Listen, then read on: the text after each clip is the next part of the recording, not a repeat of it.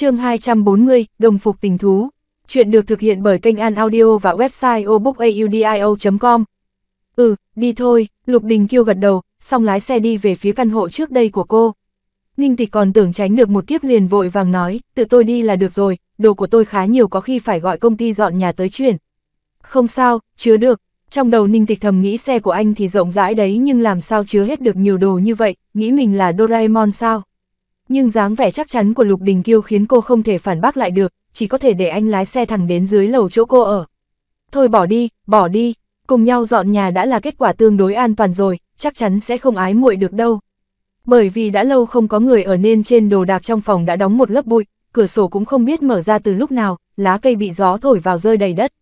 Ánh mắt Lục Đình Kiêu tuy lạnh lùng nhưng lại mang theo mấy phần ấm áp, chậm rãi lướt qua mỗi một xó xỉnh trong gian phòng. Sao vậy? Ninh Tịch khó hiểu nhìn anh. Không có gì, Lục Đình Kiêu thu hồi ánh mắt, mặc dù chỉ là cái phòng nát do Tinh Huy sắp xếp cho cô nhưng ở đây lại có kỷ niệm quý báu của bọn họ. Ừ, được rồi, trở về sẽ cho người mua lại. Cần tôi làm gì? Lục Đình Kiêu hỏi, Ninh Tịch gãi đầu, tìm một cái hộp không thật to tới sau đó chỉ vào một cái giá sách thật cao nói, có thể giúp tôi xếp sách trên kệ vào thùng không? Được, Lục Đình Kiêu sắn tay áo, bắt đầu luôn. Ninh Tịch nhìn một thân quần áo còn đắt hơn cả cái nhà này, đau chứng mà xoa xoa chán, cô nói chờ một chút. Anh chờ tôi một chút, nói xong không biết móc đâu ra một cái áo blau trắng của bác sĩ đưa cho anh, anh cởi áo khoác ra, mặc cái này vào, chống bụi. Lục Đình Kiêu nghe lời cởi áo khoác, có chút ngạc nhiên nhìn cái áo blau trắng trước mặt, ở đâu ra. Trang phục diễn, lúc trước có một đoàn làm phim nghèo đến độ đồ diễn cũng không mua nổi, cho nên tôi đành tự mua. Ninh Tịch nói xong choàng lên cho anh, may mà cái áo này cũng rộng rãi. Sau khi nói xong, Ninh Tịch cứ ngây người nhìn Lục Đình Kiêu, không tự chủ được nuốt nước bọt, mặt cũng bắt đầu đỏ ửng lên. Lục Đình Kiêu mặc áo blau trắng cũng gợi tình quá đi. Đây chính là đồng phục tình thú đó nha. Mẹ nó, ngay cả dọn nhà cũng không an toàn. Sao vậy? Ninh Tịch vội lắc đầu lấy lại tinh thần, không sao không sao. Chúng ta bắt đầu đi, tôi đi sửa sang quần áo. Ừ, Lục Đình Kiêu gật đầu liếc nhìn bóng lưng chạy thục mạng của cô gái, bắt đầu thu dọn giá sách. Lục Đình Kiêu làm việc nhìn thì rất ung dung nhưng trên thực tế tốc độ lại rất nhanh, hiệu suất rất cao, chỉ một loáng đã dọn sạch giá sách. Đang dọn thì trong một quyển tuyển tập Shakespeare rớt ra một tấm ảnh. Lục Đình Kiêu tiện tay nhặt lên, trong ảnh là một nhóm người trẻ tuổi, tất cả đều đang mặc trang phục băng gắn rất nhiều kim loại nặng nề, Ninh Tịch đứng ngay giữa, tóc rất ngắn, mặc một bộ đồ đua xe màu đen, cười vô cùng đều giả nhìn giống như một cậu thanh niên đẹp trai. Cánh tay cô tùy ý đặt trên vai một người đàn ông, nghiêng đầu nói chuyện với người nọ, nhìn dáng vẻ vô cùng thân mật, hẳn là người cô rất thân. Nhưng người đàn ông kia đang nghiêng đầu bật bật lửa, lại thêm ánh sáng mờ mờ tối tối, cho nên không thể thấy rõ khuôn mặt, chỉ có thể nhìn thấy một gò má mơ hồ. Đại gia YS, chương 241, dạy đại ma vương tán gái. Chuyện được thực hiện bởi kênh An Audio và website obookaudio.com. Trực giác nói cho anh biết, người này chính là YS, kẻ mà Ninh Tịch nói rằng hắn ta rất nguy hiểm nhưng cô vẫn tin rằng hắn sẽ không làm tổn thương cô. Lục Đình Kiêu ngẩn người nhìn chằm chằm vào nửa khuôn mặt của người đàn ông đó rất lâu, trong đầu chợt lóe lên cái gì đó nhưng lại lướt đi rất nhanh, anh không kịp bắt lấy nó. Tại sao anh lại cảm thấy người này, có chút quen quen nhỉ, chẳng lẽ đó lại là người mà anh biết? Lục Đình Kiêu, bên này tôi sắp xong rồi, anh xong chưa? Ninh Tịch kéo một cái vali rất to, nghiêng đầu hỏi. Ừ, xong rồi đây. Lục Đình Kiêu thản nhiên đặt bức ảnh vào chỗ cũ. Khoảng 10 phút sau, Ninh Tịch tay sách nách mang, bao lớn bao nhỏ xuống lầu. Sau đó, cuối cùng thì cô cũng biết tại sao Lục Đình Kiêu lại khẳng định là chứa được hết. Một cái xe Lincoln dài đang đỗ ở đó. Ha ha ha ha, cái thế giới giàu có vô nhân tính này. Ninh Tịch vội vàng đè thấp vành mũ xuống dùng tốc độ nhanh nhất có thể cẩn thận nhét hết tất cả mọi thứ vào xe, sau đó thúc giục tài.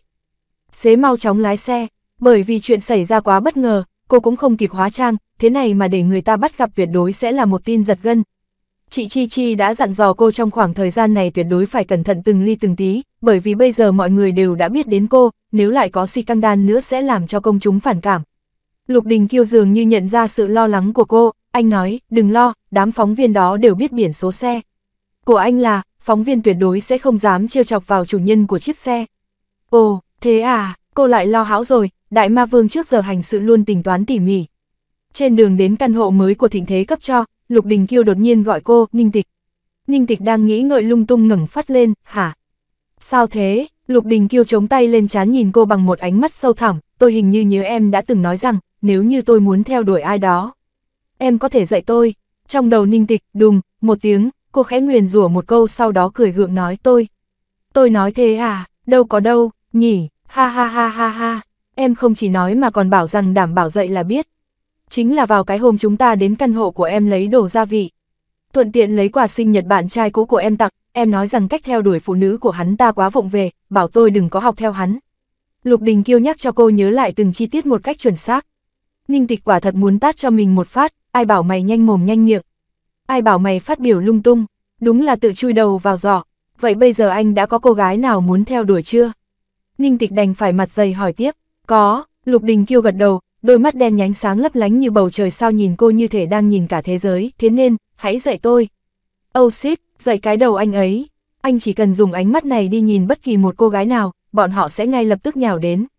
Còn cần theo đuổi làm cái quái gì nữa? Hết cách rồi, chính mình nói ra, có khóc cũng phải thực hiện.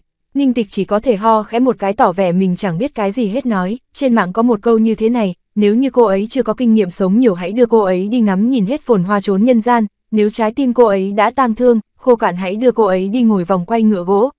Đại ý của câu này là nhất định phải bốc thuốc đúng bệnh. Không biết cô gái mà anh thích là người như thế nào. Cô ấy, Lục Đình Kiêu ngập ngừng một chút như thể đang suy tư. Vài phút sau làn sương lạnh trôi nổi trong đôi mắt tan đi như tuyết đầu xuân, khóe mắt hiện lên sự dịu dàng, cô ấy lúc thì có vẻ lõi đời nhưng có lúc lại rất ngây ngô, cô ấy bướng bỉnh cứng đầu, không chịu gò bó nhưng lại rất lương thiện, dịu dàng, cô ấy trải qua rất nhiều chuyện nhưng cuối cùng vẫn giữ được bản tính ban đầu. Cô ấy là người con gái tốt đẹp nhất mà tôi từng gặp. chương 242, vậy thì nhổ luôn củ cải đó đi. Chuyện được thực hiện bởi kênh An Audio và website obookaudio.com. Lõi đời nhưng cũng lại ngây ngô, bướng bỉnh, không chịu gò bó nhưng cũng rất lương thiện, dịu dàng. Trải qua rất nhiều chuyện nhưng cuối cùng vẫn giữ được bản tính ban đầu. Là cô gái tốt đẹp nhất, ôi ôi, trái tim thiếu nữ của lão phu, ninh tịch ôm ngực, tim cô đang đập điên cuồng, suýt chút nữa thì ngã gục xuống đất rồi. Ai mà chẳng thích được người khác khen, huống chi lục đình kiêu lại khen rất chân thành lại có kỹ thuật nữa, toàn nhắm chúng những chỗ mềm yếu nhất trong lòng cô. Con người của lục đình kiêu không phải là nên cao ngạo, lạnh lùng, cấm dục, không quan tâm đến ba cái chuyện tình cảm vớ vẩn chứ. Ăn nói ngọt ngào như thế thật không khoa học, nhìn đại ma vương vẫn đang nghiêm túc đợi cô xuất chiêu. Ninh tịch thật sự hận không thể quỳ xuống dập đầu ba cái xin buông tha. Đại thần mãn cấp như anh mà còn cần tôi dẫn dắt à. Ninh tịch lại khẽ ho một cái tỏ ra ta đây từng trải, ngữ điệu sâu sắc. Nói, boss đại nhân, thứ cho tôi nói thẳng, thực ra với điều kiện và ngộ tính của anh, căn bản là không cần tôi dạy. Nếu như với điều kiện của anh mà đối phương vẫn chưa động lòng, vậy chỉ có một khả năng. Lục Đình Kiêu nghe vậy liền để tay xuống, đôi mắt khẽ nheo lại hỏi. Khả năng gì? Ninh Tịch hít một hơi thật sâu, nói như đinh đóng cột, anh không phải là kiểu người mà cô ấy thích. Không phải kiểu mà cô ấy thích, đi kèm câu này còn có một trận gió lạnh lẽo từ sông băng ở Bắc Cực thổi tới.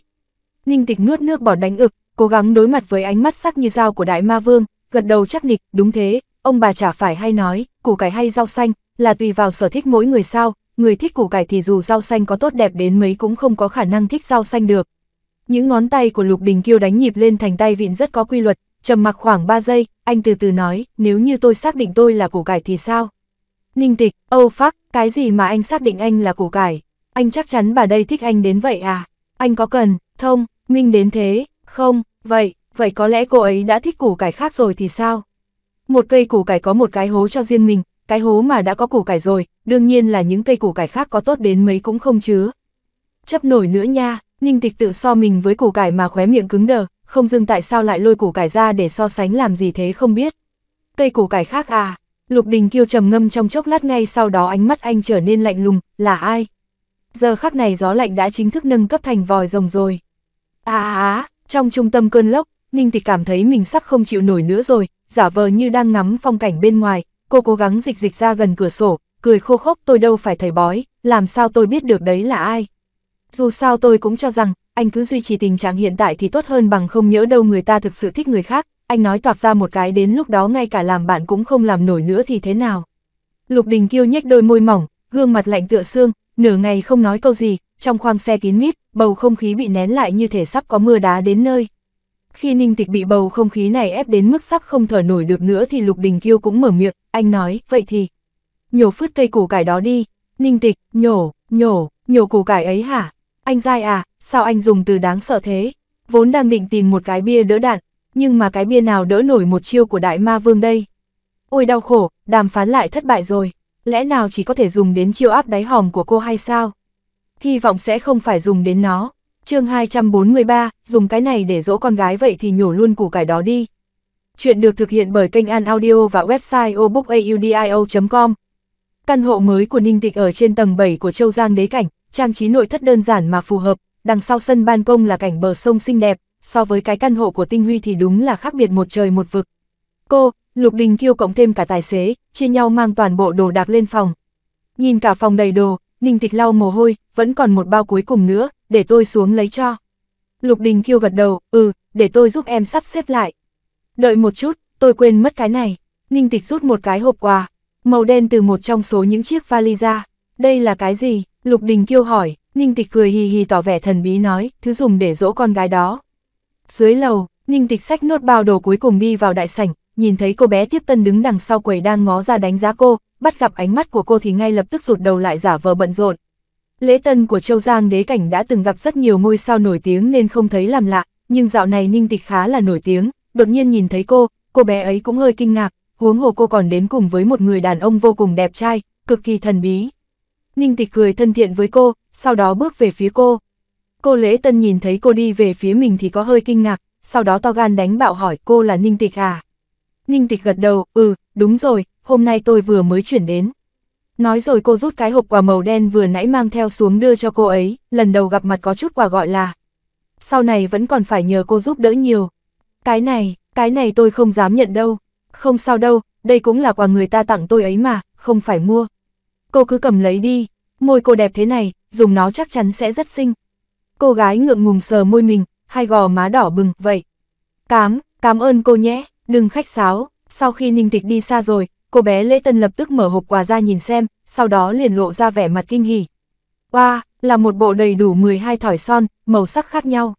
Ôi trời ơi, cô cực kỳ thích nhãn hiệu son này nhưng mà không mua nổi, bạn trai lại là tên chậm tiêu, tặng quà mấy lần đều là mấy cái thứ kỳ quái, ngoá nó chứ, có thể tặng cho bà một thỏi son được không? Thật không ngờ cái cô ninh tịch này làm người khéo thật đấy. Tuy rằng ngôi sao tặng đồ cho cô không ít nhưng thái độ một đám đều như nhau kênh kiệu ngạo mạn, tiện tay vứt mấy thứ mình không cần đi, cứ như là bố thí. Đâu có giống ninh tịch, tặng quà thôi cũng khiến cho người nhận quà vui mừng. Nhìn đã biết là cố ý chuẩn bị rồi. Phần lớn mọi người đều coi thường nhân viên quèn như cô, nhưng lại không biết cái nghề này của cô biết cực kỳ nhiều bí mật đó nha. Cửa thang máy, đinh một tiếng, cửa thang máy mở ra. Đúng là oan ra ngõ hẹp, không ngờ thế mà lại gặp thường lị ở đây, cũng khéo thật. Ninh tịch, thường lị kinh ngạc nhìn cô chầm chầm, dáng vẻ như thể đang phòng cướp, cô đến đây làm gì? Ninh tịch trợn mắt trắng dã, đây là nhà chị à? Chỉ cho phép mỗi mình chị đến được hay sao?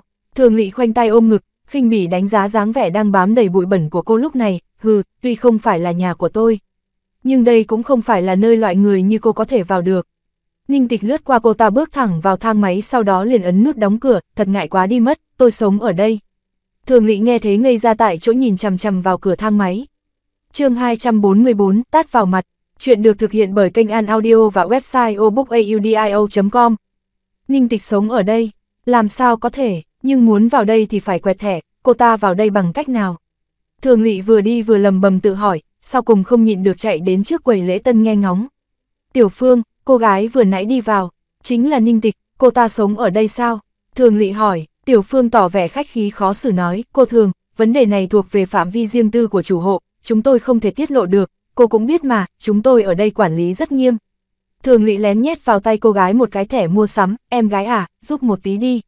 Chị chỉ muốn biết có phải là cô ta sống ở đây không thôi, đó cũng đâu phải là vấn đề nhạy cảm lắm, sẽ không ảnh hưởng gì đến em đâu mà. Tiểu Phương khinh bỉ liếc cái thẻ mua sắm trong tay, trong bụng nghĩ thầm bình thường cô ra lệnh quát tháo, lên mặt với tôi lắm cơ mà, bây giờ cần nhờ vả thì lại thơn thất nói cười với tôi. Vốn định trả lại nhưng cô lại thay đổi ý định, nhận lấy cái thẻ, nói, không sai, cô ấy sống ở đây, khoảng nửa tháng trước đã đến đăng ký thông tin. Thường lị vừa nghe thấy vậy hai mắt lập tức sáng rực lên, chủ hộ là ai? Tiểu Phương nhìn vẻ mặt cô ta là biết cô ta nghĩ gì thế nên cứ nói thật thôi, đăng ký dưới danh nghĩa của tập đoàn giải trí thịnh thế, chắc 100% là chỗ ở công ty sắp xếp cho cô ấy rồi. Thường lị ngây ra, cái gì? Cô có nhầm không đấy? Cô ta còn tưởng có thể tóm được điểm yếu của ninh tịch. Giọng điệu của Tiểu Phương chắc nịch, làm sao mà nhầm được, căn phòng đó có vị trí tốt nhất của Châu Giang đế cảnh đó, chính diện đối mặt với Châu Giang, cảnh sắc cực kỳ đẹp, trước đây vẫn bỏ trống, mãi cho đến nửa tháng trước, nhân viên của thịnh thế mới mang người đến tu sửa lại, thông tin điền trên phiếu của ban quản lý chung cư cũng là của cô ấy. Tôi biết rồi, cảm ơn. Thường lị mặt mũi đen xì vội vội vàng vàng đi mất. Má nó, thịnh thế điên rồi sao? Tự nhiên lại cho một người mới như Ninh Tịch đãi ngộ tốt đến thế. Nhớ lại những gì cô ta nói với Ninh Tịch lúc trước, nói Tinh Huy sắp xếp chỗ ở cho cô ta tốt lắm. Quả thực là không khác gì tự tát vào mặt mình, xem ra nhất định phải nhìn chằm chằm Ninh Tịch, phải tìm ra vị đại gia đứng sau lưng con tiện nhân này rốt cuộc là ai. Với sự giúp đỡ của Lục Đình Kiêu, Ninh Tịch vốn phải mất cả ngày để dọn dẹp giờ chỉ cần một buổi đã đâu vào đấy. Nhìn mọi thứ đều được sắp xếp gọn gàng ngăn nắp, tâm trạng cô mới tốt lên được một chút. Sau khi gia nhập thịnh thế, cô vẫn cứ cảm thấy mọi thứ không chân thực, lúc này nhìn vào cái ổ nhỏ của mình, cô mới có được chút cảm giác chân thực. Ninh Tịch lấy một cái khăn mặt mới cho Lục Đình Kiêu lau mồ hôi. Hôm nay anh thật sự đã vất vả rồi, tôi mời anh ăn bữa cơm nhé. Cho dù là như thế nào thì cả ngày hôm nay Lục Đình Kiêu cũng đã bận rộn vì cô, chỉ ít cũng phải mời người ta một bữa cơm chứ. Có thể ăn ở nhà được không? Lục Đình Kiêu hỏi, Ninh Tịch gãi đầu, cái này. Nhưng phòng bếp đã có bếp núc nồi niêu gì đâu, tôi sợ là không làm được. Không sao, em không cần phải xuống bếp đâu, hôm nay đã rất mệt rồi. Lục Đình Kiêu nói rồi gọi một cuộc điện thoại, chỉ nói hai chữ với người ở đầu dây bên kia, vào đi. Ngay lập tức, tiếng chuông cửa vang lên, Ninh Tịch nghi ngờ đi ra mở cửa, sau đó liền giật mình nhảy dựng. Ngoài cửa có hai hàng người đứng sắp hàng ngay ngắn, mặc đồng phục chỉnh tề, trên tay bưng các món ăn vô cùng hấp dẫn. Người đứng ở vị trí đầu tiên trong tay đang cầm một bó hoa bách hợp tươi tắn. Lục Đình Kiêu bước đến cầm bó hoa từ trên tay người nọ rồi quay sang đưa bó hoa ra trước mặt cô tặng em. chương 245, thế này là định tỏ tình à? Chuyện được thực hiện bởi kênh An Audio và website obookaudio.com. Nhìn bó hoa bách hợp trắng to đùng, Ninh Tịch ngây ra đưa tay đón theo phản xạ có điều kiện. Sau đó những người bồi bàn nối đuôi nhau bê đồ ăn vào, phủ khăn ăn, đặt giá nến, chỉ trong có 5 phút ngắn ngủi mà đã sắp xếp được một bữa tối dưới ánh nến cực kỳ tinh xảo, rồi đồng loạt cúi đầu chào, lui ra ngoài một cách có thứ tự. Hóa ra cái ăn ở nhà của Lục Đình Kiêu là như này đây. Cô còn tưởng là phải tự nấu cơm ở nhà cơ đấy. Thật sự là quá ngây thơ rồi. Cô nhìn thấy trên áo những người vừa nãy có thêu hai chữ Hồng Quản, Hồng Quản là nhà hàng tư nhân nổi tiếng nhất trong giới quý tộc của thành phố B, mỗi ngày chỉ làm một bàn duy nhất, muốn đặt bàn phải đặt trước một năm. Nhà hàng này còn có một quy tắc, không chấp nhận đặt món, họ làm cái gì thì bạn ăn cái đấy, kiểu nhà hàng tùy hứng thế này, Lục Đình Kiêu thế mà lại gọi được bọn họ đưa đồ ăn đến tận cửa. Ninh Tịch nhìn bó hoa rồi lại quay sang nhìn bữa tối dưới ánh nến. Thế này, rõ ràng là bối cảnh để tỏ tình mà. Ninh Tịch hoảng hốt lầm bầm, hóa ra hôm nay Lục Đình Kiêu cố ý tách tiểu bảo ra, thậm chí còn hỏi cô những vấn đề đầy tính ám chỉ như là làm thế nào để theo đuổi phụ nữ là vì mục đích này. Chẳng lẽ thật sự muốn, tại sao cô càng nghĩ càng thấy hoảng thế này? Ánh mắt cô liền chuyển đến giá đặt đồ ngọt, chắc bên trong có dấu nhẫn cầu hôn gì gì đó đúng không? Khụ khụ, không thể nào, không thể nào. Với tính cách của Lục Đình Kiêu làm sao có thể đoán trước dễ thế được. Món ăn không phù hợp với sở thích sao? Lục Đình Kiêu thấy vẻ mặt của cô không tốt, anh hơi cau mày lại sau đó lấy điện thoại ra, để tôi bảo bọn họ đổi món khác. Ninh tịch vội vàng xua tay, không cần đâu, không cần đâu. Đều là những món tôi thích cả. Ý của tôi là, nên để tôi mời anh mới đúng, sao lại biến thành anh mời tôi mất rồi. Như nhau thôi, Lục Đình Kiêu không để ý nói, sau đó rất ga lăng kéo ghế cho cô. Khụ, cảm ơn, Ninh Tịch chỉ đành ngồi xuống. Sau khi tỉ mỉ quan sát Lục Đình Kiêu cô phát hiện ra một chi tiết. Hôm nay là ngày nghỉ, theo lý mà nói, anh nên ăn mặc thoải mái mới đúng. Nhưng anh lại mặc rất nghiêm túc, hơn nữa, đây là lần đầu tiên anh thắt nơ. Ngồi xuống rồi, Ninh Tịch mới phát hiện trong lòng vẫn đang ôm bó hoa thế nên lại vội vã đi tìm bình cắm hoa vào. Có thích không? Ninh Tịch ngơ ra, cái gì cơ? Bách hợp, a hát, rất thích, ừ, tôi nghĩ bách hợp rất hợp với em. Ninh Tịch, suốt cuộc từ bách hợp của anh là muốn ám chỉ sự ngây thơ khờ dại hay là hình tượng trăm năm hòa hợp? Ăn thôi, Lục Đình kêu gắp thức ăn cho cô. Ừ ừ, để tôi tự gắp là được rồi. Để che giấu sự căng thẳng, Ninh Tịch cắm mặt vào ăn. Ăn đến mức căng cả bụng rồi cô mới phát hiện ra có cái gì lạ lạ, trong tay vẫn cầm nửa cái bánh ngọt chưa ăn hết, cô nhíu mày nhìn người đàn ông trước mặt. Lục Đình Kiêu chẳng ăn gì mấy mà lại mở một bình rượu, ngồi đó tự rót tự uống, hơn nữa chai rượu đó cũng sắp cạn đến nơi rồi.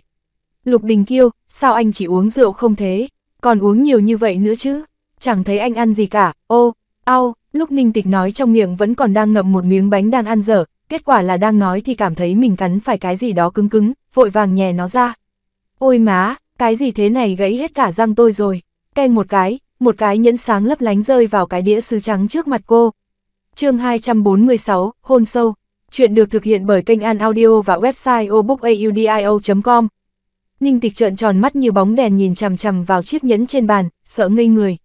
Đệch, Ninh, tịch, mày, đúng, là, đồ, Mồm, thối, cô cũng phòng bị kỹ lắm rồi mà. Cô luôn biết một khi mà đại ma vương tán gái thì nhất định sẽ khiến người ta kinh ngạc, khó lòng phòng bị, ai mà ngờ được cư nhiên lại thua bởi một cách. Cũ dích thế này, kết quả cuối cùng vẫn là không phòng bị được. Đại ma vương đang cố ý chơi phản đòn sao. Trong mấy giây phút ngắn ngủi trôi qua, điều ninh tịch cảm thấy hối hận nhất là tại sao cô lại không nuốt thẳng cái nhẫn đó để tiêu hủy luôn đi. Khi ninh tịch vẫn đang đần hết cả mặt ra, Lục Đình Kiêu cạn nốt chỗ rượu cuối cùng trong ly, anh đặt ly xuống, ánh mắt sâu thẳm nhìn về phía cô cứ uống rượu suốt là vì tôi căng thẳng. Ninh tịch, anh mà cũng căng thẳng, rốt cuộc thì ai mới là, người nên căng thẳng chứ. Gương mặt lạnh lùng của Lục Đình Kiêu giờ đã lờ mờ say, con người như màn đêm đen lại trấn tĩnh vô cùng, từ trước tới giờ tôi chưa từng làm chuyện gì mà mình không nắm chắc, nhưng lần này, tôi đã làm, đây có lẽ là chuyện kích động nhất mà tôi từng làm trong đời, có điều. Tôi cũng không còn sự lựa chọn nào khác, cũng không có chỗ. Để mà hối hận nữa rồi, tới giờ dù cho tôi có tiến hay lùi, em đều quyết định sẽ rời xa tôi. Chẳng qua chỉ là vấn đề sớm hay muộn thôi, bắt đầu từ ngày đầu tiên gặp em, tôi đã lên kế hoạch cho ngày này, tính toán vô số các loại phương án. Nhưng em lại ngày càng sợ tôi, thế nên, tôi đã chọn cách truyền thống nhất cũng là cách ôn hòa nhất. Ninh tịch nghe xong không biết nói gì để chống đỡ nữa.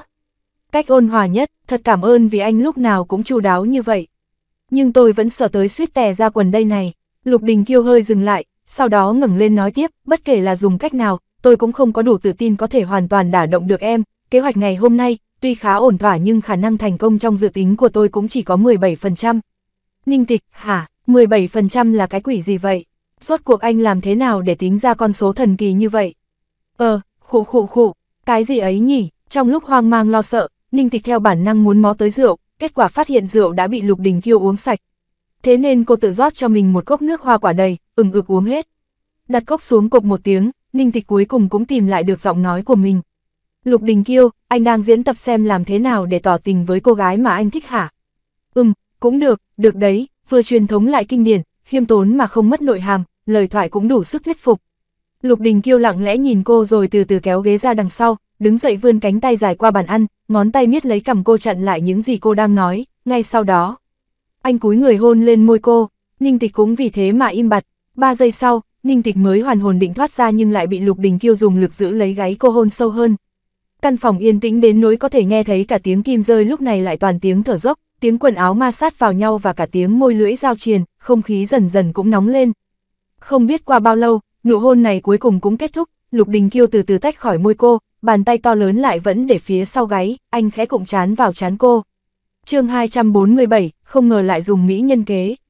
Chuyện được thực hiện bởi kênh An Audio và website obookaudio.com. Ninh tịch nhắm chặt mắt, lông nghi khẽ run rẩy, giọng nói có chút khàn khàn, Lục Đình Kiêu, sao em lại không nghe lời cô giáo vậy? Rõ ràng cách đây không lâu, cô còn dạy anh nhất định phải giữ nguyên trạng thái, không được manh động. Kết quả anh lại trực tiếp tỏ tình cầu hôn, đúng là bẫy trời mà. Thầy cô giáo chỉ dạy những cái cơ bản, còn việc học hỏi là ở mình. Giọng điệu của Lục Đình Kiêu ngược lại rất có lý. Cô chưa từng dạy em dở trò lưu manh, nhưng, chỉ có cách này mới có thể khiến cô biết, người em thích chính là cô.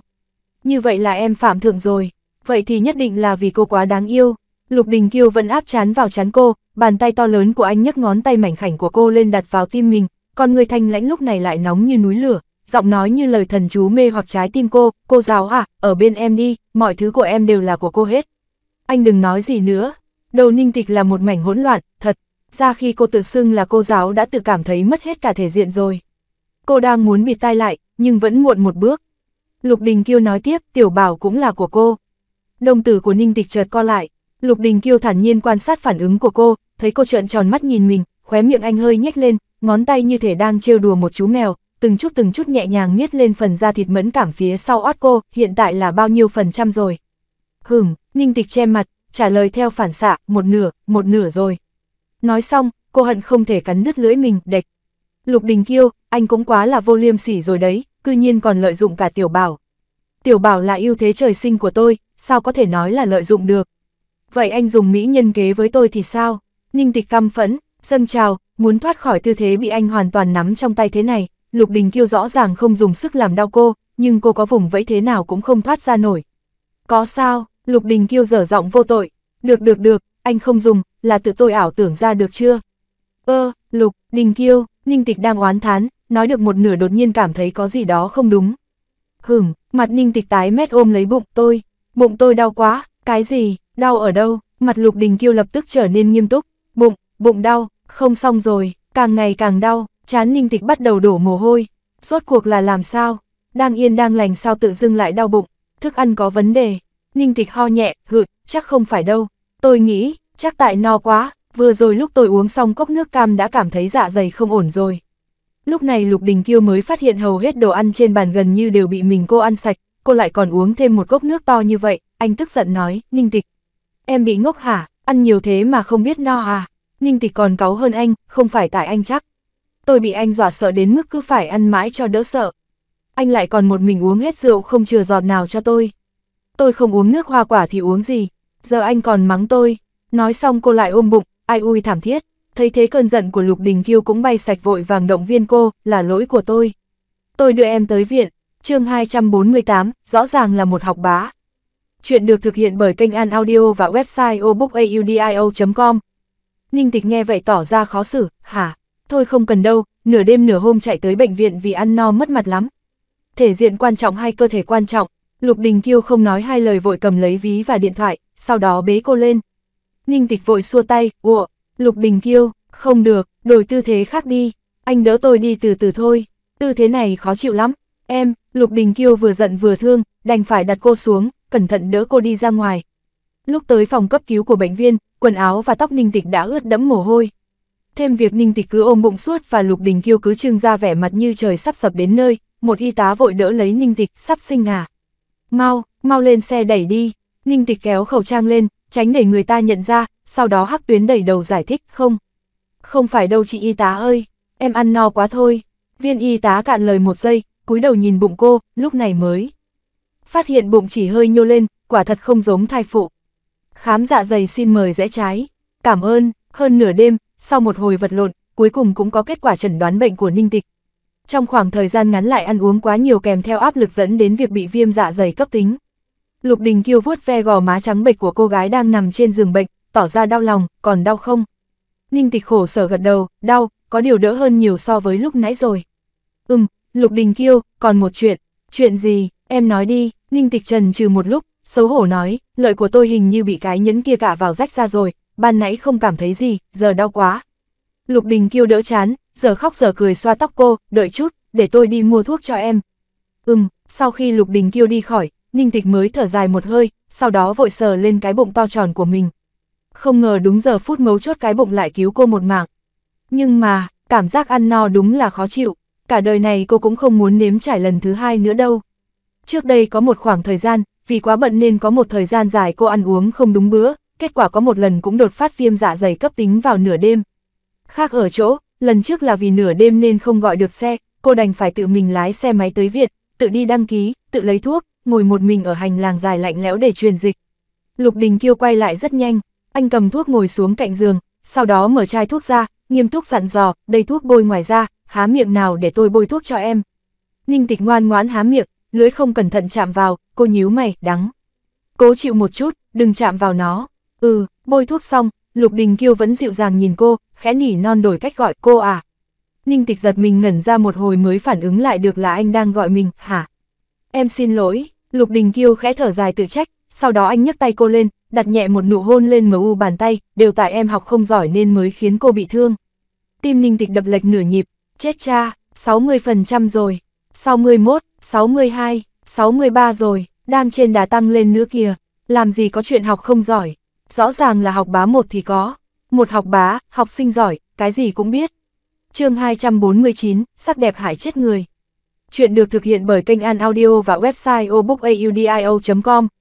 Ninh Tịch lắc đầu, vội kết thúc chủ đề vừa nguy hiểm lại mờ ám giữa cô giáo và học sinh này, sau đó đổi lại thành trạng thái nhân viên nề nếp, giơ tay nói. Sếp, tôi muốn xin nghỉ một thời gian, không muốn bị quấy dày. Lục Đình Kiêu sau khi suy nghĩ một hồi cũng vui vẻ đồng ý, có thể phê chuẩn, em muốn mấy ngày. Ninh Tịch nhìn ngón tay, yếu ớt hỏi, đơn vị có thể tính bằng năm không? Tôi cho em thời gian là 7 ngày. Lục Đình Kiêu mặc kệ ý kiến của cô, gõ nhịp quyết định. Được thôi, 7 ngày thì 7 ngày. Đợi mai tôi ra viện rồi, tôi có thể tạm thời về sống ở căn hộ công ty cấp không? Vừa xong anh đã đồng ý sẽ không quấy giày rồi mà. Vừa hay gần đây tiểu bảo cũng không ở nhà, hơn nữa ngày kia tôi còn phải tới công ty một chuyến, ở Châu Giang đế cảnh cũng gần hơn một chút. Ninh tịch cố gắng vẽ ra đủ lý do chính đáng được, Lục Đình Kiêu gật đầu không chút do dự. Ặc, dễ dàng vậy sao? Tự dưng không gài bẫy cô nữa, cô có chút không quen ấy. Ninh tịch nheo mắt lại, rộ ra vẻ mặt tiểu hồ ly, cô dường như phát hiện cách có thể đối phó hiệu quả nhất đối với tên đại ma vương này rồi. Khổ nhục kế, chẳng lẽ vì vừa rồi bác sĩ nói đừng để cô chịu áp lực lớn sao? Hai, cũng vì quá quan tâm nên khổ nhục kế mới có hiệu quả như vậy. Nghĩ đến đây, chỉ số trong lòng bỗng chốc tăng một lúc lên tới 80% luôn. Ngày hôm sau, may mà tình trạng của Ninh Tịch không nghiêm trọng, sáng sớm cô đã có thể thuận lợi xuất viện. Lục Đình Kiêu thực hiện đúng lời hứa đưa cô về Châu Giang đế cảnh, lúc đi trên đường có tạt qua siêu thị, mua đồ lấp đầy tủ lạnh cho cô, lại đặt đồ cho cô đủ ngày ba bữa, dặn đi dặn lại không biết bao nhiêu lần là phải chú ý chuyện ăn uống. Ninh Tịch ngồi trên sofa, thấy Lục Đình Kiêu bận tới bận lui, kiểm tra hết tủ lạnh còn đứng đó nghĩ xem có để sót thứ gì không, cô không nhịn được ho nhẹ một tiếng, Lục Đình Kiêu, anh không cần làm gì nữa đâu, tôi có thể tự chăm sóc mình mà. Lục Đình Kiêu đi tới trước mặt cô, vậy tôi đi đây. Miệng thì nói thế, nhưng anh vẫn không yên tâm, như thể cô là một đứa trẻ 3 tuổi hoàn toàn không có năng lực tự lo liệu cho bản thân mình vậy. Ninh tịch cố gắng giữ vững chỉ số trong lòng, ừm. Em thật không còn vấn đề gì nữa chứ? Không sao không sao, bụng không đau tí nào nữa rồi. Khả năng hồi phục của tôi nhanh lắm đấy. Ừm, điểm này đúng là tốt. Lục Đình Kiêu hài lòng gật đầu. Ninh tịch, lời này không sai, nhưng sao cô cảm thấy như, đang bị đùa giỡn thế nhỉ? Đang thất thần, Lục Đình Kiêu đột nhiên cúi xuống chỗ cô, nhưng còn chưa tiến sát vào đã đứng dậy lùi ra, sau lại vươn tay sờ lên đỉnh đầu cô, không làm phiền em nữa. Ninh tịch, anh, đã, làm, phiền, rồi, đấy, coi như cô hiểu rồi, kể cả tên này không làm gì thì sự tồn tại của anh ta cũng đã là một loại quấy nhiễu rồi. Mãi tới khi tiến Lục Đình Kiêu đi rồi, Ninh Tịch mới có thể hoàn toàn thả lỏng, cô ôm gối nằm phát ngốc trên sofa, nghĩ lại tất cả những chuyện xảy ra trong mấy ngày này. Tuy cô đã sớm có dự liệu, cũng chuẩn bị từ sớm, nhưng lúc này đầu óc cô vẫn là một mảng trống rỗng, hoàn toàn rối loạn. Với biểu hiện này, cô chỉ có thể chấm cho mình không điểm. Thật ra lúc đầu cô đã định sẽ cố ý nói những lời dứt khoát khiến Lục Đình Kiêu dẹp ý nghĩ này đi, nhưng đối diện với gương mặt ấy, cô lại không thốt nổi một từ, ngược lại, trái tim kiên định lại ngày càng dao động, vốn tưởng đây là chuyện tuyệt đối không thể, nhưng lại dần dần thay đổi suy nghĩ. Chẳng trách thời cổ đại có nhiều hôn quân như thế, đúng là sắc đẹp hại chết con người ta mà chương 250, lần đầu giao tranh, chuyện được thực hiện bởi kênh An Audio và website obookaudio.com. Sáng ngày hôm sau, trong văn phòng của Lâm Chi Chi tại công ty giải trí thịnh thế. Chị Chi Chi, em không đến muộn chứ? Hôm qua Ninh Tịch nghỉ ngơi cả tối, cơ thể đã gần hồi phục lại, chỉ là sắc mặt có hơi tiều tụy, thế nên hôm nay cô mặc một chiếc váy liền thân có màu tương phản làm nổi lên màu da, trông vừa trẻ lại đầy sức sống. Trước bàn làm việc, Lâm Chi Chi tóc tai gọn gàng, cô mặc một chiếc áo vest gam lạnh phối với một chiếc váy. Lâm Chi Chi đang xử lý công việc thấy Ninh Tịch tới thì đánh giá cô một lượt, sau đó mới ngẩng đầu nói, không cần căng thẳng, hôm nay bảo em đến cũng không có chuyện gì quan trọng, chỉ là muốn em tham quan công ty một chút trước buổi bấm máy ngày mai thôi, tuy thường ngày em không hay ở công ty, nhưng vẫn phải hiểu một chút về các phòng ban cơ bản. Vâng, cảm ơn chị Chi Chi, đi thôi, Ninh Tịch gật đầu đi theo, dưới sự dẫn dắt của Lâm Chi Chi cô biết thêm về các phòng ban của công ty cũng làm quen được với một số đồng nghiệp mới. Bất kể trong lòng mọi người có nghĩ thế nào thì ngoài mặt vẫn tỏ ra rất khách khí với cô. Trong lòng mọi người đều hiểu rõ chuyện của Ninh Tịch chỉ là ván cờ giữa Thịnh Thế và Tinh Huy, Ninh Tịch chẳng qua chỉ là đòn mà công ty đánh trả Tinh Huy thôi. Nhưng việc công ty chuẩn bị nâng đỡ Ninh Tịch là sự thật không thể chối cãi thế nên chẳng ai dại mà tự đi tìm xui cho mình cả. Chật, cái cô Ninh Tịch này đúng là còn xinh hơn trong ảnh, chẳng trách nhị thiếu vừa thấy đã để ý tới cổ. Tôi có dự cảm, chỉ cần EQ của cô ấy không quá thấp thì sau này nhất định sẽ hot lắm. Cũng chưa chắc, khó khăn lắm mới đuổi đi được một lãnh man vân, cô tưởng người nào đó có thể chấp nhận được sao? Hơn nữa, cô ấy liệu có thể hòa hợp được với Lâm Chi Chi sao? Lâm Chi Chi chẳng phải ghét nhất các nữ nghệ sĩ chỉ dựa vào việc bán nhan sắc để đi lên à. Công ty rất lớn, Ninh Tịch đi theo Lâm Chi Chi hơn một tiếng đồng hồ mới tham quan hết các phòng. Đang chuẩn bị đi tiếp tới một số phòng quay và phòng thu của công ty, hai người lại gặp một người ở hành lang. Ồ, đây chẳng phải là đại quản lý của chúng ta đây sao? Cuối cùng cũng chịu xuống núi rồi à? Tôi còn tưởng cô không gượng dậy nổi mà chuẩn bị rút khỏi giới luôn rồi chứ. Người phụ nữ đang nói chuyện khoảng hơn 30 tuổi, mặc một bộ đồ gợi cảm thời thượng, uốn tóc xoăn, trang điểm sắc nét, ăn mặc còn sáng chói hơn cả minh tinh. Vì thường xuất hiện trên tạp chí nên Ninh Tịch lập tức nhận ra cô ta chính là Triệu Mỹ Hinh quản lý của Tô Dĩ Mạt. Đối diện với lời lẽ khiêu khích của Triệu Mỹ Hinh, Lâm Chi Chi mặt không chút thay đổi nói, chị Mỹ Hinh còn đang cố gắng dốc sức thì những người trẻ tuổi bọn em cũng không thể để rớt lại phía sau được. Cô, Triệu Mỹ hình tức sôi máu, Ninh Tịch ở bên cạnh cố nhịn không bật cười, thầm nghĩ Lâm Chi Chi trông vừa cứng nhắc lại nghiêm túc này không ngờ lại còn độc miệng như vậy. Triệu Mỹ Hinh nghiến răng hừ một tiếng, Lâm Chi Chi, tuy trước đây tôi từng xem nhẹ cô, nhưng sau này cũng không thể không thừa nhận cô thật sự có vài phần năng lực khi có thể khiến một kẻ có nhan sắc bình thường như lãnh man vân đi lên như vậy, nhưng hiện tại thì sao? Nói đến đây, Triệu Mỹ Hinh cố tình dừng lại, quét ánh mắt cay nghiệt qua ninh tịch, lãnh man vân đi rồi, cô lại tìm một bình hoa ngoài xì căng đan với mặt mũi ra thì chẳng có gì đặc sắc thế này. Tôi nhớ cô ghét nhất loại nghệ sĩ sống dựa vào mặt mũi cơ mà, sao rồi? Giờ cũng biến chất rồi hả? chương 251, chỗ dựa của Tô Dĩ Mạt. Chuyện được thực hiện bởi kênh An Audio và website obookaudio.com. Ninh tịch nghe thế trong mắt hơi nheo lại. Đây không phải lần đầu tiên cô nghe từ miệng người khác về kiểu nghệ sĩ mà Lâm Chi Chi ghét. Bảo không để ý tí gì là chuyện không thể nào. Dẫu sao đây là người mà cô sẽ cùng chiến đấu trong tương lai, nếu ngay từ đầu đã không chung lý tưởng thì sau này làm sao có thể tiếp tục hợp tác. Lâm Chi Chi liếc thấy sự ái ngại lóe lên trong mắt ninh tịch, cô nhìn về phía triệu Mỹ Hinh, không nhanh không chậm mở miệng nói, chị Mỹ Hinh hình như có chút hiểu lầm tôi rồi. Ai cũng biết, trong cái nghề này, xinh đẹp chính là một lợi thế trời cho, là điều mà người khác cầu còn không được, tại sao tôi lại ghét? Cái tôi ghét, là cái kiểu bình hoa không có nội hàm, không có thực lực. Lòng yêu thích cái đẹp thì ai cũng có, về điểm này chắc chị Mỹ Hinh là người hiểu rõ nhất đúng chứ?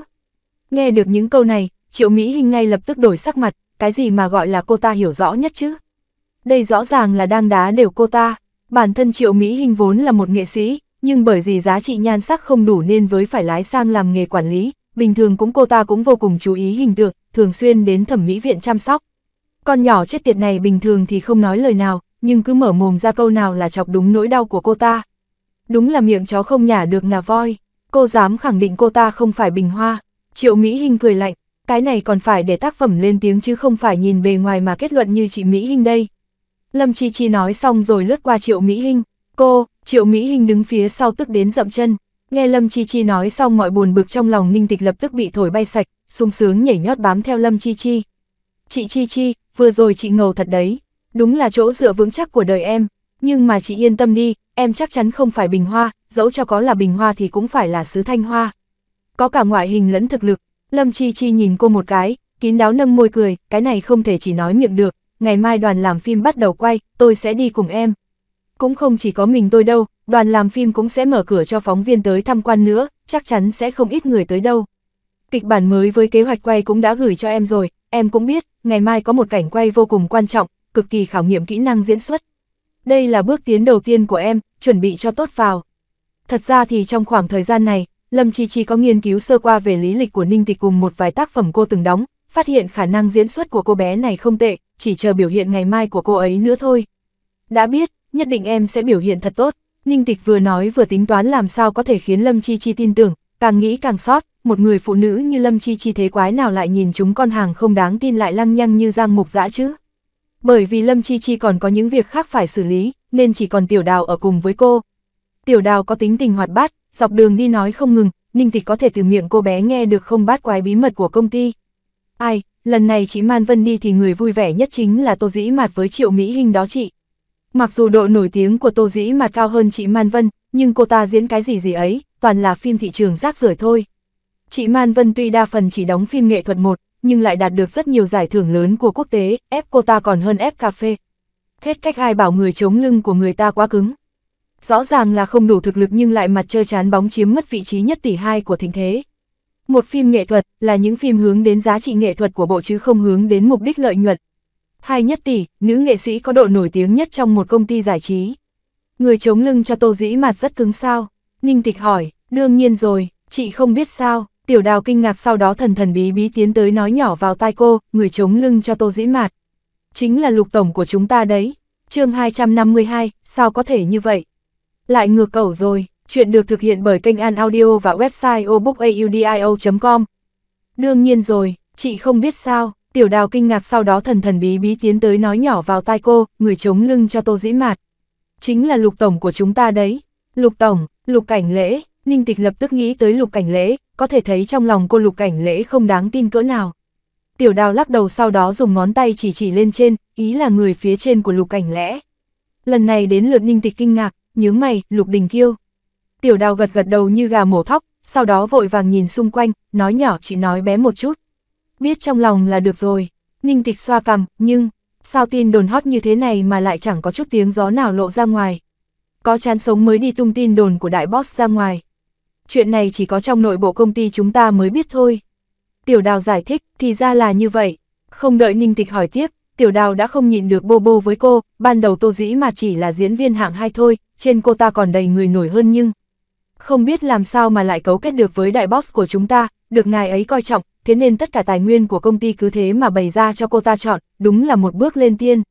Tiểu đào càng nói càng tức, bất bình nói chị Man Vân mất 10 năm mới lăn lộn được đến vị trí như bây giờ, ấy thế mà lại bị cô ta cứ như vậy mà ép xuống, quá bất công. Ninh tịch thấy tiểu đào nói có sách mách có chứng như vậy nên nghĩ giữa hai người chắc chắn có gì đó nhưng không biết ở mức độ nào mà thôi. Tuy tiểu đào không nói thẳng ra nhưng nghe có vẻ là quan hệ. Tình nhân, nhưng căn cứ vào những gì Ninh tịch biết về Lục Đình Kiêu thì có vẻ không hợp lý lắm. Tiểu đào đang thao thao bất tuyệt, đột nhiên ý thức được bản thân cứ ca ngợi người khác mãi như vậy thì có chút không ổn, liền vội vàng nói, khụ. Có điều người chống lưng của chị cũng cứng lắm mà, nhị thiếu đích thân đào chị về đó. Tuy tiểu đào nói như vậy nhưng trong lời nói vẫn pha chút thất vọng. Cô bé vốn là trợ lý của lãnh man vân, lần này cũng bị tuyên chuyển cùng ninh tịch. Trước kia lúc tiểu đào đi theo lãnh man vân luôn được mọi người kính trọng, nhưng hiện tại ninh tịch chỉ là một tân binh, làm sao có cơ so được với trước kia, nên khó tránh khỏi trong lòng có chút bất bình. Ninh tịch làm sao có thể không nhìn ra mất mát trên mặt tiểu đào, phản ứng của cô bé cũng chỉ là nhân chi thường tình một, cho nên cô cũng không để bụng. Một nhân chi thường tình, phản ứng thường thấy của con người. Nhưng mà, chuyện của Tô Dĩ Mạt, cô không thể cho qua dễ dàng như vậy. Dẫu sao vào bây giờ chuyện này cũng rất quan trọng với cô, bất kỳ chi tiết nhỏ nào cũng có thể ảnh hưởng đến quyết định cuối cùng của cô. Vì vậy Ninh Tịch cầm lấy điện thoại gửi một tin nhắn cho Lục Đình Kiêu. Quan hệ của anh với Tô Dĩ Mạt là quan hệ gì? Cùng lúc đó tại tập đoàn Lục Thị, Lục Đình Kiêu đang tham dự một cuộc họp thì di động để bên cạnh đột nhiên reo lên, liền tiện tay mở ra xem. Sau đó, tất cả các cấp dưới có mặt trong phòng đều thấy được một cảnh tượng ngàn năm khó gặp người chưa bao giờ lộ ra một nụ cười ở công ty lúc này lại đang từ từ giãn mặt mũi ra, phát ra một tiếng cười khẽ vui vẻ. chương 253, tôi chỉ chống lưng cho mình em thôi. Chuyện được thực hiện bởi kênh An Audio và website obookaudio.com. Stop, Lục Đình Kiêu quẳng lại một câu rồi cầm di động ra khỏi phòng họp. Ninh Tịch đang đợi Lục Đình Kiêu nhắn tin trả lời lại, kết quả anh lại trực tiếp gọi điện tới luôn, dọa cô giật cả mình. Vì vậy Ninh Tịch nói với Tiểu Đào một tiếng rồi vội vàng tìm một xó không người nào để nghe điện thoại. Alo, vừa nhìn thấy tin nhắn của em, nghe giọng có vẻ như tâm trạng Lục Đình Kiêu rất tốt.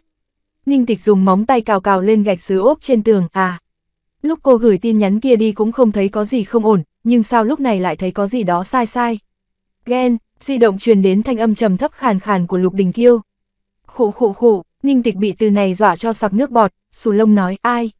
Ai ghen chứ, tôi chỉ thấy cần phải làm rõ mối quan hệ của mọi người trong công ty nên mới hỏi chút thôi. Mẹ nó, khó trách sao cô cảm thấy có gì sai sai, quả nhiên sẽ khiến người ta cảm thấy cô đang ghen mà. Nếu chỉ là thuận miệng hỏi thì tôi từ chối trả lời.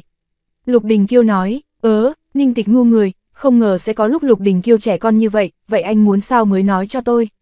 Lục Đình Kiêu trả lời câu hỏi của tôi, câu nào, ghen, thật ra thì, lúc nghe được những suy đoán mập mờ của tiểu đào, nghe được chuyện Lục Đình Kiêu kéo người phụ nữ khác lên giường, trong lòng cô đúng là có chút khó chịu.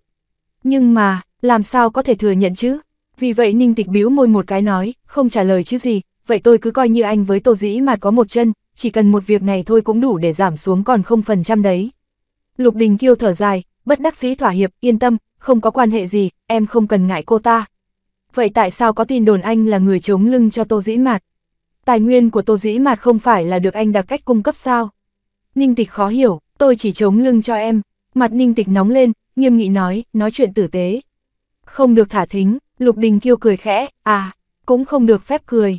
Lục Đình Kiêu cũng không trêu cô nữa, họ nhẹ một tiếng trả lời, đúng là đặc cách nhưng tôi hoàn toàn trong sạch. Sở dĩ làm như thế là bởi vì cô ta từng cứu Tiểu Bảo một mạng. Cái gì, Tiểu Bảo làm sao? Ninh Tịch hoảng hốt, lúc trước vì muốn để Tiểu Bảo tiếp xúc nhiều hơn với người khác, nên tôi thử cho nó đến trường, kết quả thằng bé bị mất khống chế giơ chân bỏ chạy, suýt chút nữa thì bị xe đâm. May mà lúc ấy có một chiếc xe khác lao ra, đẩy chiếc xe kia ra xa nên cứu Tiểu Bảo một mạng. Sau thì tra ra người trong chiếc xe kia chính là Tô Dĩ Mạt, cô ta uống rượu say nên mất tay lái, ma xui quỷ khiến thế nào lại cứu được Tiểu Bảo. Ninh Tịch nghe vậy thì sửng sốt, ôi má, tôi không biết nên nói là Tô Dĩ Mạt may mắn hay là Tiểu Bảo mạng lớn nữa. Ồ thế ra là vì để trả ơn cho cô ấy nên anh mới hạ lệnh như vậy. Ninh Tịch có thể hiểu được việc mà Lục Đình Kiêu làm, cho dù việc Tô Dĩ mà cứu Tiểu Bảo chỉ là chuyện ngoài ý muốn nhưng dù sao cô ta quả thật đã cứu Tiểu Bảo một mạng. Đúng vậy, chẹp, người ta là chân chính cứu mạng Tiểu Bảo đó. Sao lúc ấy anh không lấy thân báo đáp đi? Lục Đình Kiêu hạ gục ninh tịch chỉ bằng một câu duy nhất, em cho là đối với ai tôi cũng sẽ lấy thân báo đáp sao. chương 254, bây giờ là bao nhiêu phần trăm? Chuyện được thực hiện bởi kênh An Audio và website obookaudio.com. Hạ gục thôi còn chưa đủ, Lục Đình Kiêu lại không chút lưu tình hạ thêm một đao, bây giờ là bao nhiêu phần trăm? Nói cho anh, tôi đâu có ngu, thôi nhá, cúp máy đây, trợ lý còn đang chờ tôi. Ninh tịch vội vội vàng vàng cúp điện thoại, quả nhiên không nên có bất kỳ tiếp xúc nào với Lục Đình Kiêu. Bên kia, nụ cười trên mặt vẫn còn chưa tan thì bỗng dưng một gương mặt to bự từ đâu chạy tới u oán nói. Anh hai mau thành thật khai báo có phải anh đang có chuyện gì giấu em, đúng không? Lục Đình Kiêu nhướng mày, rõ lắm sao? Lục cảnh lễ lập tức bị đả kích, thiếu chút nữa thì ngã gục trên đất hu hu hu. Quả nhiên anh có chuyện giấu em, em là phụ tá đắc lực nhất của anh, là tiểu áo bông của anh. Thế mà anh lại giấu em, không phải em rất giỏi đoán sao? Hứ, đoán thì đoán, lục cảnh lễ thong thả bước qua bước lại trong phòng, 3 phút sau, đột nhiên ngừng bước nhìn về phía lục. Đình Kiêu, hôm trước anh cố ý đưa tiểu bảo đi. Khi đó chỉ còn 2 ngày nữa là Ninh Tịch phải bắt đầu quay lại làm việc, là vì đuổi kịp tiến độ nên chắc chắn sẽ rất bận biểu. Cho nên em đoán hai ngày này anh đã làm chuyện gì đó cực lớn. Cực lớn, chẳng lẽ là tỏ tình, Lục Đình Kiêu tiếp tục, ý là tiểu ra đây đoán đúng. Mắt Lục Cảnh Lễ sáng lên, tiếp tục nói, vậy kết quả thế nào? Chắc chắn là không thành công rồi, nếu không sao anh có thể ở công ty, lúc này phải ở trên giường mới đúng. Lục Đình Kiêu, cuối cùng Lục Cảnh Lễ búng tay một cái, dùng giọng điệu chắc chắn đưa ra kết luận chân tướng chỉ có một. Anh tỏ tình, tiểu tịch tịch không đồng ý nhưng cũng không từ chối. Cô ấy còn đang suy nghĩ, hơn nữa, khả năng cô ấy đồng ý với anh là rất lớn. Cho nên tâm tình anh mới tốt như vậy. Lục Đình Kiêu nhìn thần thái sáng láng của cậu em trai, khóe môi nhếch lên lộ ra một tia dịu dàng không dễ phát hiện. Tính tình anh tuy lạnh lùng, khó sống chung với người khác, ngay cả quan hệ với cha mẹ ruột cũng rất nhạt, nhưng Duy chỉ có người em trai này thì lại khác, người khác tránh anh, sợ anh, nhưng cậu em trai này lại cả ngày bám lấy anh. Anh có làm mặt lạnh thì thằng nhóc này cũng không sợ, anh không thích nói thì nó lại tự đoán mò, cứ thế mà dần dần đoán được chính xác tâm tư anh.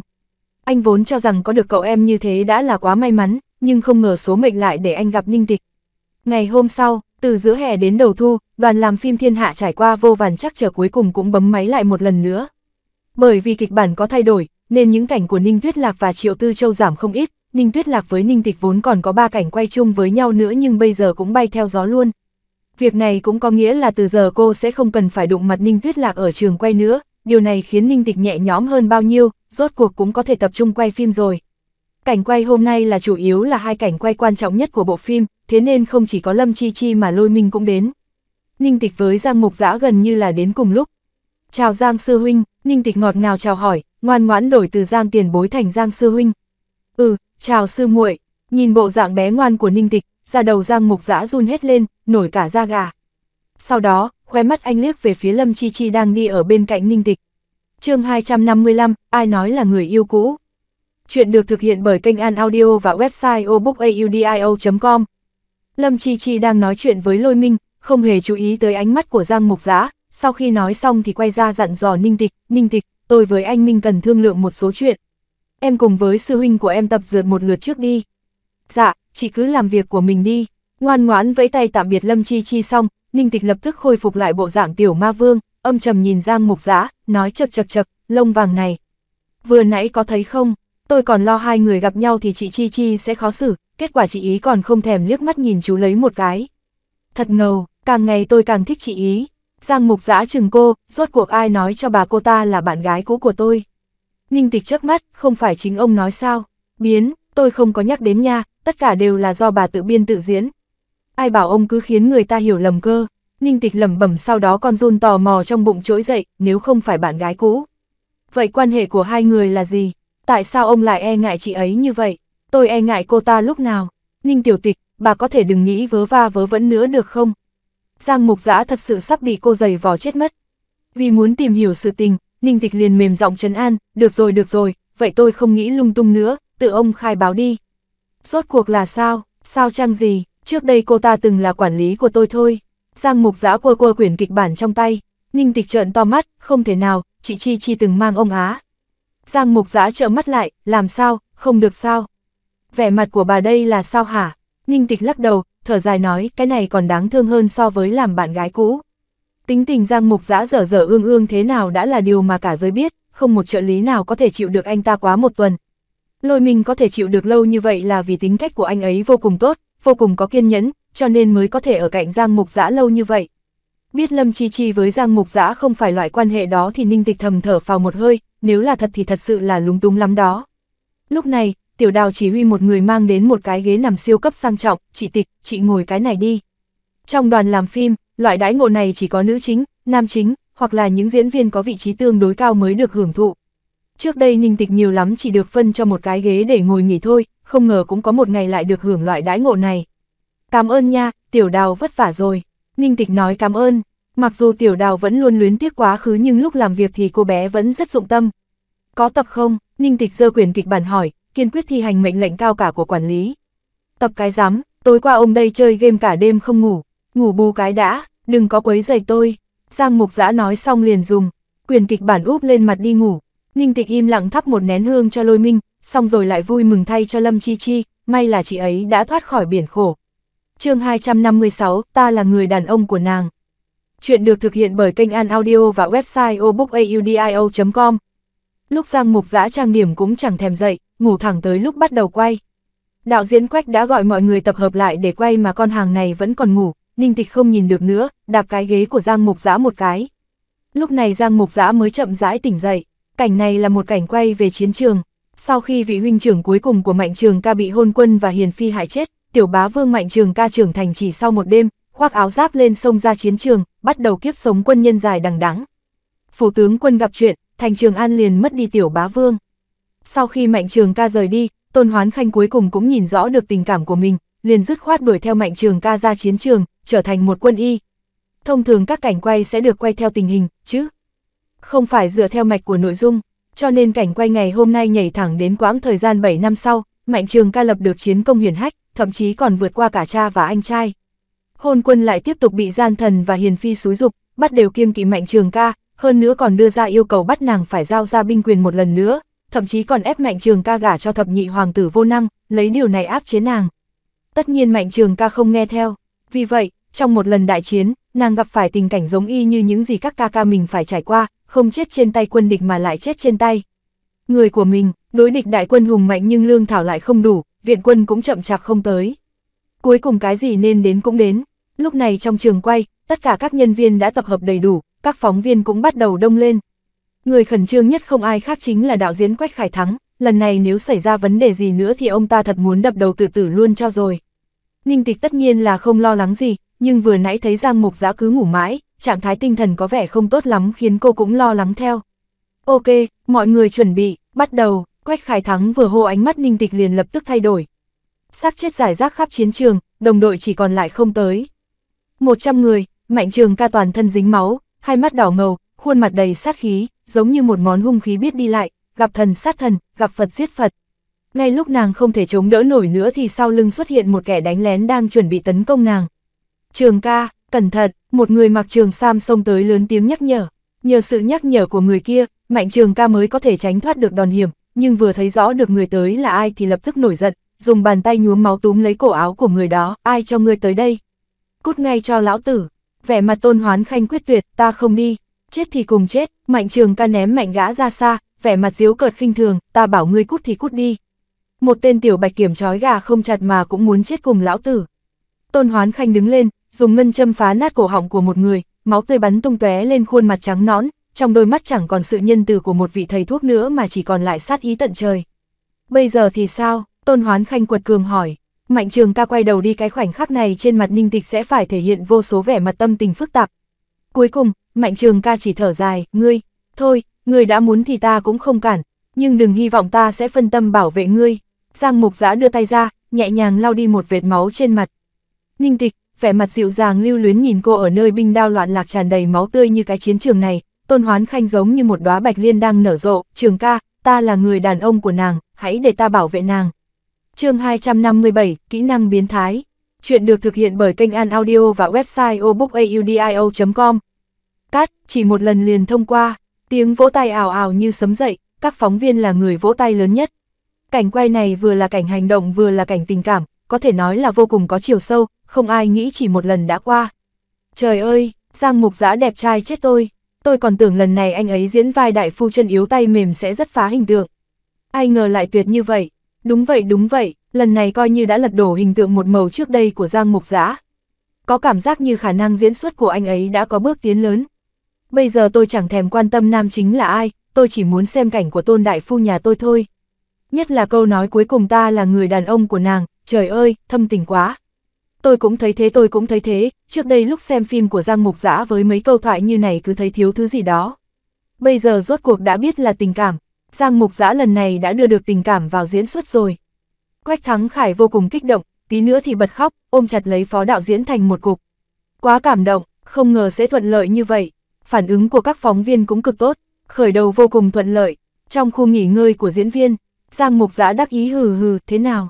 Tôi đã bảo là không có vấn đề gì, mấy người cứ thích lo hão. Ninh tịch khinh thường quát ngưng một tiếng, đó là bởi vì hôm nay em dai được diễn với chị đây, nếu là người khác, lấy cái trạng thái như phân chó chắt tường này của em ít nhất cũng phải âm 20 lần, tin không?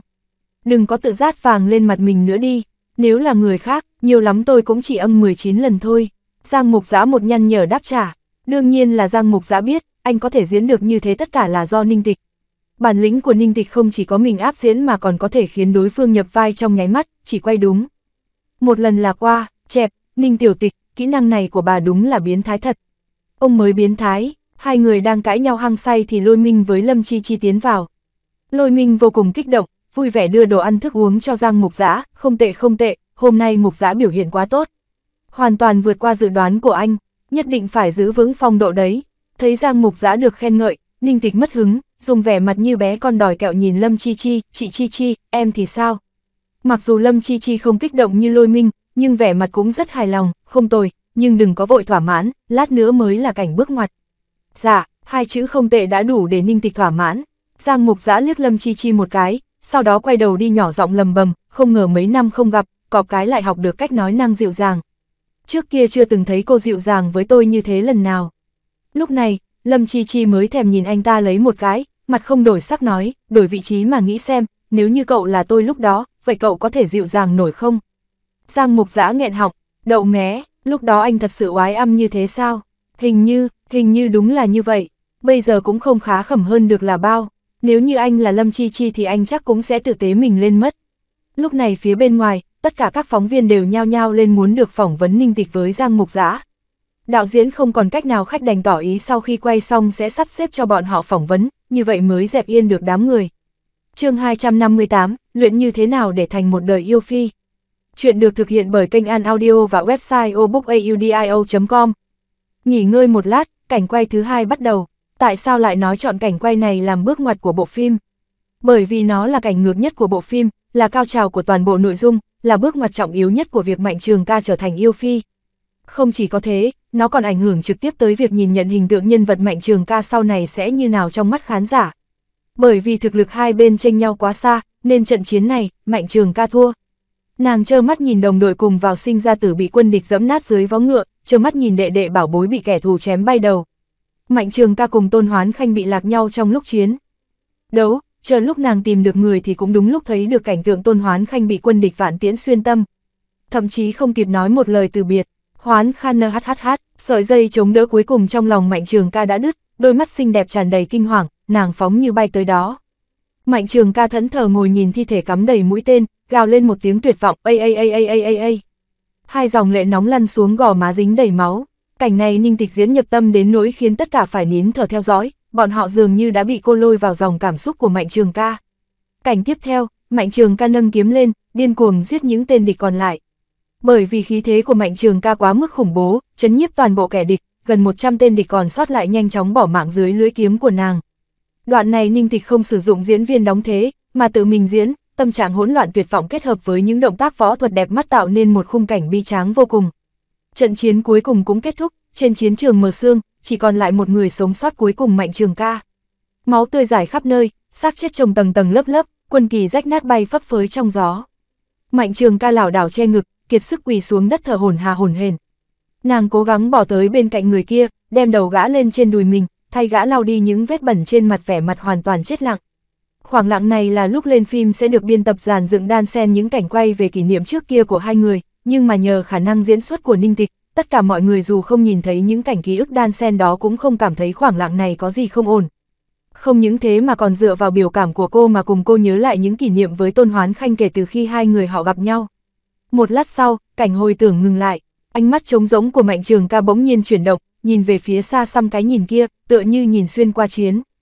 Trường, xuyên qua thảo nguyên ngàn dặm, nhìn qua sa mạc mịt mù, hướng thẳng tới kinh thành phồn hoa, lại xuyên qua cửa cung cấm tiến vào bên trong hoàng cung sơn son thiếp vàng rồi dừng lại trên người hôn quân cùng gian phi. phảng phất như có một trận gió xem lẫn máu tanh thổi mạnh tới, mạnh trường ca nâng cầm lên, nhắm hai mắt lại. Qua một lúc lâu, đôi mắt đỏ ngầu như máu của nàng chậm rãi mở ra, như cánh hoa đào nở rộ trong mùa đông giá lạnh. Quỷ dị nhưng lại đẹp đến nao lòng, cái khoảnh khắc đó, vị tướng quân hết lòng vì quốc gia đã tan biến thay vào đó là một thế hệ yêu phi hại nước hại dân được sinh ra. Cha của nàng, tam vị huynh trưởng của nàng, đệ đệ bé bỏng của nàng, đồng đội của nàng, người nàng yêu, tất cả đều chết trên chiến trường, nhưng vị thánh thượng mà nàng, mà mạnh gia nguyện trung thành lại từng bước một đẩy người thân và nàng vào chỗ chết. Cái thiên hạ này, quốc gia này còn có cái gì đáng giá để nàng bảo vệ? Nếu đã như vậy, vậy thì, phá hủy đi, chương 259, thật đáng sợ. Chuyện được thực hiện bởi kênh An Audio và website obookaudio.com. Sự đau buồn cùng hận thù tột cùng của Mạnh Trường ca, Ninh Tịch chỉ dùng một nụ cười hắc hóa đã có thể diễn tả toàn bộ. Toàn trường lặng ngắt như tờ, cho đến khi cảnh quay kết thúc, mọi người vẫn không phát ra chút thanh âm nào, thậm chí không dám thở mạnh, rất sợ sẽ quấy rầy đến linh hồn tuyệt đẹp đang đau buồn kia. Có người còn đỏ hốc mắt, nước mắt chảy ra mà cũng không biết. Cho đến khi đạo diễn Quách Thắng khả ra hiệu cảnh quay kết thúc, mọi người mới giật mình tỉnh lại từ cảm giác đau buồn. Ôi trời, không ngờ tôi chỉ đứng xem ở hậu trường thôi mà cũng khóc. Ô ô ô, tôi cũng khóc tôi cũng khóc, trái tim nhỏ bé của tôi, thật đau lòng quá. Tôn Đại Phu, Tôn Đại Phu của tôi chết rồi. Kỹ năng diễn xuất của Ninh Tịch quá trâu. Đệch, bây giờ tôi mới biết hóa ra mấy tin đồn trước kia chỉ là nhảm nhí. Cũng hiểu rõ tại sao Quách Khải Thắng lại bất chấp ý kiến dư luận mà chọn cô ấy. Tại sao Ninh Tịch không phải nữ chính? So với thượng quan ánh dung miệng đầy nhân nghĩa nhưng bánh bèo kia thì nhân vật mạnh trường ca này có chiều sâu hơn nhiều. Phòng hóa trang sau hậu trường, sau khi tẩy trang xong, cảm giác bi thống, tiêu điều của Ninh Tịch vẫn chưa tan hết, đến nỗi tiểu đào đến đưa cơm cũng không dám tới gần cô. Lúc này, đột nhiên Giang Mục Giã đẩy cửa đi vào thấy thế đành bảo. Để cơm đó đi, đừng để ý cô ấy, một lát là tốt thôi. Vâng, tiểu đào lúc này mới bỏ hộp cơm xuống co giò chạy bộ dạng này của Ninh Tịch thật đáng sợ, cứ như bị ai nhập vào. Chừng 5 phút sau, Ninh Tịch giải trừ trạng thái nhập hồn, tỉnh táo lại. duỗi người, vặn cổ một cái, ai oán nói, mẹ kiếp. Lần này nhập vai sâu quá, suýt chút nữa không ra được. Giang mục giã trầm mặt, thôi đi bà. Người khác diễn đến trình độ này có khi vài tháng còn chưa ra được. Ai đen thì ám cả đời mà phát điên. Bà chỉ dùng có tiếng đã bỏ ra được, thế là giỏi lắm rồi.